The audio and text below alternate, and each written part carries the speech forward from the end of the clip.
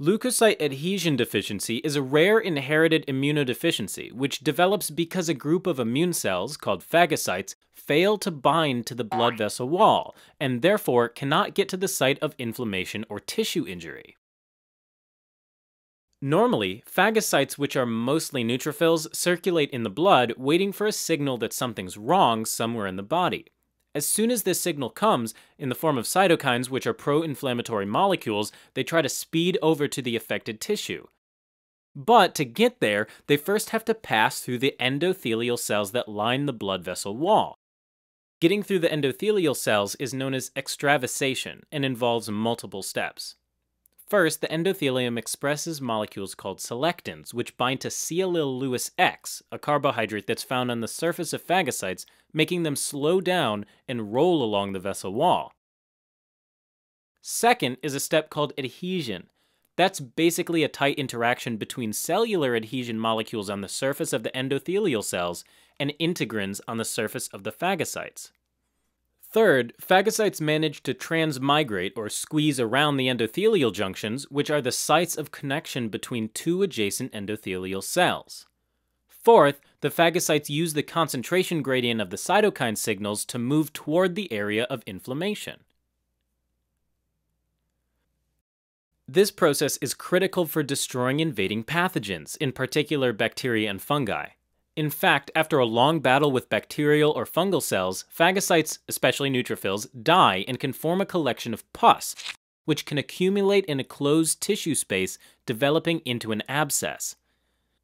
The process of extravasation is also essential for wound healing, where phagocytes help remove dead and damaged cells. In addition to typical settings of wound healing, this function of phagocytes is required soon after birth. That's because once the umbilical cord is cut, the cells within the cord begin to die, and these dead cells are engulfed by phagocytes. That process helps the dry umbilical cord separate from the baby's abdomen. In leukocyte adhesion deficiency, there's a mutation in a gene that encodes some of the molecules that mediate the interaction between phagocytes and endothelial cells. There are two major types of this deficiency, based on the step that's affected. Leukocyte adhesion deficiency type 1 is by far the most common and results from a failure to express CD18, which is a subunit of integrin molecules. Without integrins, the second step of the extravasation process, called adhesion, can't happen. In other words, phagocytes can't firmly bind to the blood vessel wall. Leukocyte adhesion deficiency type 2 is extremely rare, and it's caused by the absence of the sialyl Lewis X, which is essential for the process of rolling, or the first step of the extravasation process. In both cases, an increased number of phagocytes gets trapped in the circulation and can't make their way to infected or damaged tissue. This allows pathogens like bacteria and fungi to spread uncontrollably and cause tissue injury. Meanwhile, without the help of phagocytes, tissue debris cannot be removed, so that slows down wound healing. This is also the reason why the umbilical cord in infants with leukocyte adhesion deficiency remain attached for a prolonged period of time. As it turns out, both leukocyte adhesion deficiency type 1 and 2 are inherited in an autosomal recessive pattern, meaning that an affected individual must have two copies of the mutated gene. Typically, both parents of this individual carry a single copy of the mutated gene, but neither of them shows any sign or symptom of the condition.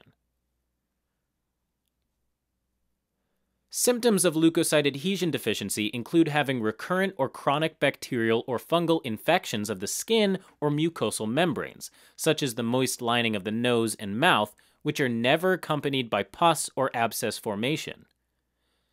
At the same time, wounds are slow to heal, leading to poorly formed, thin, and bluish scars. Infants will have a delay in umbilical cord sloughing, so it typically lingers for a couple of months. Unfortunately, because of these problems, the life expectancy without treatment is often extremely shortened, with many individuals not surviving past infancy. Diagnosis is based on the elevated number of phagocytes, especially neutrophils, in the blood. In the case of leukocyte adhesion deficiency type 1, flow cytometry can be used to look for the expression of CD18 on the leukocyte membrane. The most effective treatment of leukocyte adhesion deficiency is a hematopoietic stem cell transplant. That's where the immune system is essentially wiped out and rebooted with immature stem cells that can give rise to all types of blood cells, including new leukocytes that are able to extravasate normally. Additionally, prophylactic antibiotics are often given to help avoid serious infections. Alright, as a quick recap. Leukocyte adhesion deficiency is a genetic disorder that occurs when phagocytes lack specific molecules that would otherwise enable them to pass through the endothelium of the blood vessel wall in order to reach the site of inflammation or tissue injury. This results in a form of immunodeficiency, and it often appears just after birth with serious bacterial and fungal infections, and it features the delayed separation of the umbilical cord.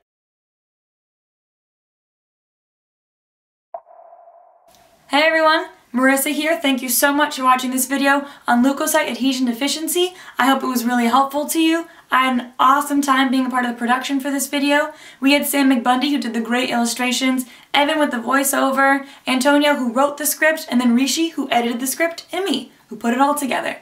If you guys want to see more of this content, head on over to osmosis.org for flashcards, quizzes, and other exclusive videos. We really appreciate your support and all of your great comments, and I'll see you on the next one.